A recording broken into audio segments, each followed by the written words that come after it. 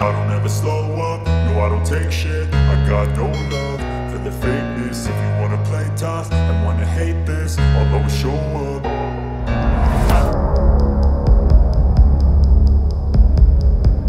Ukraine war latest. Death toll in Russian strike on apartment building in Dnipro rises to 40. Key developments on January 16th. UN. Russia's war has killed over 7,000 civilians in Ukraine since February 24. Moscow likely preparing decisive action in next six months to regain initiative, Institute for the Study of War says. Russian, Belarusian air forces start joint military exercises along Ukrainian border. UK announces its most significant package of combat power to date for Ukraine. Two days after a Russian missile attack destroyed a section of an apartment building in Dnipro, the death toll of the strike rose to 40 people, including three children, Dnipropetrovsk Oblast Military Administration reported on January 16. At least 76 people were injured, the administration said, and 26 people are still missing as of the late evening on January 16. First responders continue to work at the site. Dnipropetrovsk Oblast Governor Valentin Reznichenko reported earlier in the day that 14 children were among the injured. A Russian missile hit the apartment block in a residential neighborhood in Dnipro, a city of 1 million people in central Ukraine, in the early afternoon of January 14, making it one of the deadliest single attacks on civilian areas up to date since the start of Russia's full-scale invasion. According to the Geneva Conventions, targeting residential areas constitutes a war crime. In total, Russia's war has killed at least 7,031 civilians in Ukraine since February 24, the United Nations Human Rights Agency reported on January 16, adding that at least 11,327 people were injured. Most of the civilian casualties recorded were caused by the use of explosive weapons with wide area effects, including shelling from heavy artillery, multiple launch rocket systems, missiles, and airstrikes. The agency noted that the actual numbers may be significantly higher as data from areas experiencing intense hostilities or those under Russian occupation, such as Mariupol in the eastern Donetsk Oblast or Severodonetsk in neighboring Luhansk Oblast, has been delayed, and numerous reports require further verification. Although Russia has failed most of its major objectives in the war, including capturing Kiev in the early days of the full-scale invasion and the entirety of the eastern Luhansk and Donetsk oblasts, Russian President Vladimir Putin hasn't changed his maximalist objectives to seize all of Ukraine, the Institute for the Study of War said in its latest update. The US-based think tank said that Moscow was likely aiming to conduct a decisive action in the next six months, to regain the upper hand in Ukraine after a series of failures and successful Ukrainian counteroffensives. The ISW suggests that the major offensive will most likely happen in the area of Luhansk Oblast, most of which is currently occupied.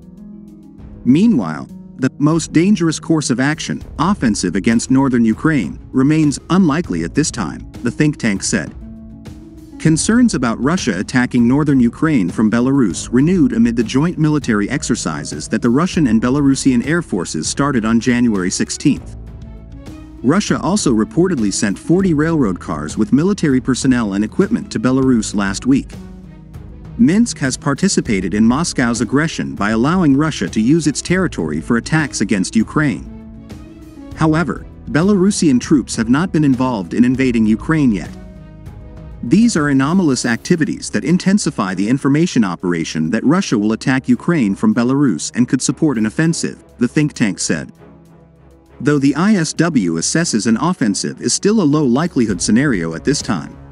There continues to be no evidence that Russian forces in Belarus have created the command and control structures necessary for an operational strike group as of this publication.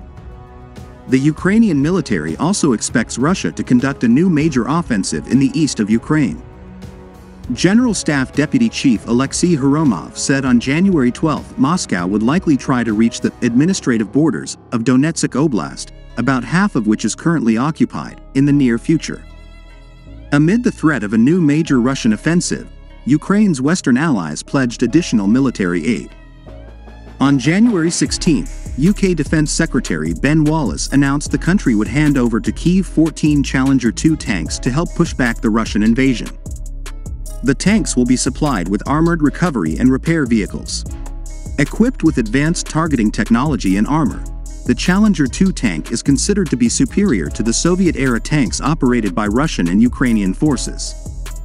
Wallace also said the UK will deliver a battery of 8 AS-90 self-propelled 155mm howitzers and two further batteries at varying states of readiness.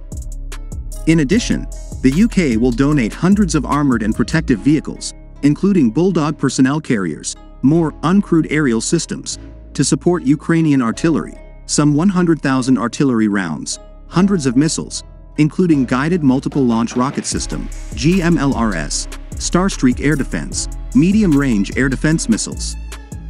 Britain will start training Ukrainian soldiers to use the Challenger 2 tanks and guns in the coming days. Ukraine's allies must accelerate our collective efforts to dramatically, economically, and militarily keep the pressure on Putin, Wallace said. Britain's move could also heap pressure on Germany to authorize the delivery of modern German-built Leopard 2 tanks during the Ramstein Defense Summit on January 20. Polish President Andrzej Duda said on January 11 that Poland planned to supply a company of Leopard 2 tanks to Ukraine. But since the vehicles are produced in Germany, their supply has to be approved by Berlin. Also on January 16, Polish Prime Minister Mateusz Morawiecki urged the German government to provide Ukraine with all types of weapons. Ukrainians are now fighting not only for their freedom but also in defense of Europe, he said, as quoted by the Polish press agency. Bloomberg reported on January 13, citing two unnamed officials familiar with the matter, that Germany will likely make a decision on whether to supply Leopard tanks to Ukraine next week, ahead of the Ramstein summit.